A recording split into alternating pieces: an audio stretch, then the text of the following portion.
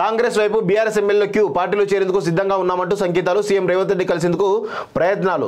ఆ లైన్లో గులాబీ ఎంపీ గులాబీ ఎంపీలు మాజీ ఎమ్మెల్యేలు కూడా నేతలు కాపాడుకునే పనిలో బీఆర్ఎస్ అధిష్టానం అంటూ ఒకరిని చూస్తా ఉన్నాం కదా. కొందరు బీఆర్ఎస్ ఎమ్మెల్యేలు కాంగ్రెస్ వైపు చూస్తున్నారు. అధికార పార్టీలు చేరితే బాగుంటుందన్న ఆలోచనలో ఉన్నారు. కారు దిగి కాంగ్రెస్లో చేరేందుకు తాము సిద్ధంగా ఉన్నామని సంకేతాలు కూడా ఇస్తున్నారు.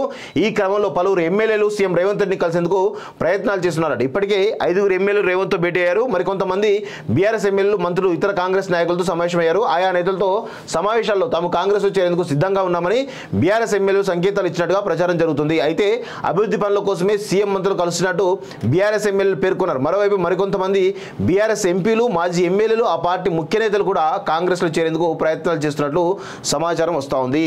నిజంగా కూడా బీఆర్ఎస్ పార్టీ మొత్తంగా ఒకటేసారి గంపగుత్త కాలేటట్టు కనబడతా ఉన్నాయి. ఒకటేసారి ఇరవై ఆరు మంది ఎమ్మెల్యేలను తీసుకొని వాళ్ళ కనీసం సిఎల్పి ఆ హోదా లేకుండా అంటే బీఆర్ఎస్ ఎల్పి హోదా లేకుండా చేయడానికి మరి రేవంత్ రెడ్డి మాస్టర్ ప్లాన్ వేసినట్టుగా మనకైతే తెలుస్తూ ఉంది. సో ఇరవై ఆరు మంది ఎమ్మెల్యే కనుక ఒకేసారి కనుక పోతే బీఆర్ఎస్ ఎల్పీని ఈరోజు కాంగ్రెస్లో విలీనం చేసినట్టు ప్రకటించేటువంటి అవకాశం కూడా ఉంది. టిట్ ఫర్ ట్యాట్గా మనం చూడొచ్చు వాస్తవంగా. కాంగ్రెస్ వైపు బీఆర్ఎస్ ఎమ్మెల్యే క్యూ పార్టీలో చేరేందుకు సిద్ధంగా ఉన్నామంటూ సంకేతాలు సీఎం రేవంత్ రెడ్డి కలిసేందుకు ప్రయత్నాలు.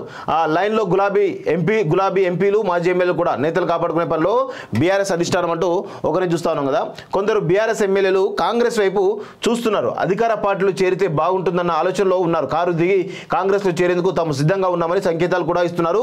ఈ క్రమంలో పలువురు ఎమ్మెల్యేలు సీఎం రేవంత్ రెడ్డిని కలిసేందుకు ప్రయత్నాలు చేస్తున్నారట ఇప్పటికే ఐదుగురు ఎమ్మెల్యేలు రేవంత్తో భేటీ అయ్యారు. మరికొంతమంది బీఆర్ఎస్ ఎమ్మెల్యేలు మంత్రులు ఇతర కాంగ్రెస్ నాయకులతో సమావేశమయ్యారు. ఆయా నేతలతో సమావేశాల్లో తాము కాంగ్రెస్లో చేరేందుకు సిద్ధంగా ఉన్నామని బీఆర్ఎస్ ఎమ్మెల్యేలు సంకేతాలు ఇచ్చినట్టుగా ప్రచారం జరుగుతుంది. అయితే అభివృద్ధి పనుల కోసమే సీఎం మంత్రులు కలిసినట్టు బీఆర్ఎస్ ఎమ్మెల్యేలు పేర్కొన్నారు. మరోవైపు మరికొంతమంది బీఆర్ఎస్ ఎంపీలు మాజీ ఎమ్మెల్యే ఎమ్మెల్యేలు ఆ పార్టీ ముఖ్య నేతలు కూడా కాంగ్రెస్లో చేరేందుకు ప్రయత్నాలు చేస్తున్నట్లు సమాచారం వస్తూ ఉంది.